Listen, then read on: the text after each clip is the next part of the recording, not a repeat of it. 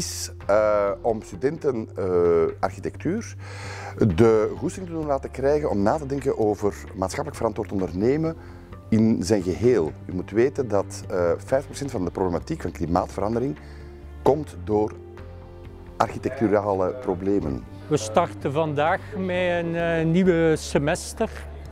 Um, de, en we gaan een oefening starten die noemt Zero Impact Building.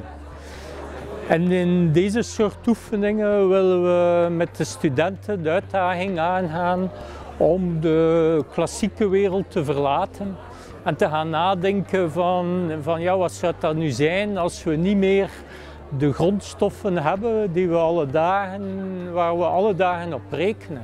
En het is eigenlijk vanuit die context dat ik Werner leren kennen en appreciëren ben.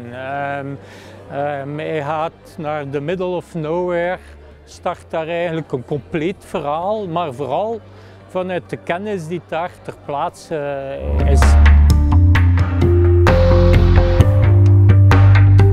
I find it very interesting because uh, in the light of um, this course we follow, I think it fits very good. Uh, it's about the environment and uh, about low budget and these two things, environment and low budget, are for me uh, very interesting things to work with. It's a very interesting project, especially because it comes out from a very small intention and it's I think it's very interesting because it's reproducible everywhere in the in the world.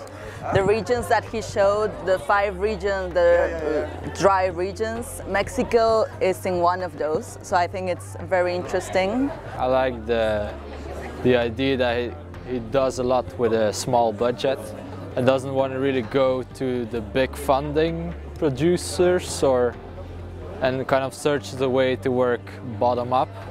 I think it's really important to kind of empower the local people instead of uh, working with the governments and working from the top down.